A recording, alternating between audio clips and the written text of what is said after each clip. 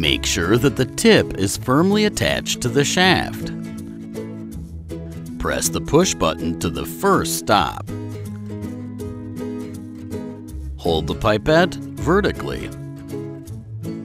Release the push button slowly and smoothly.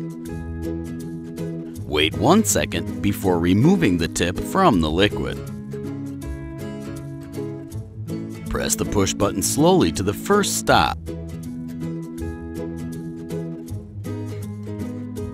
Wait one second and then press the push button to the second stop in order to expel remaining liquid.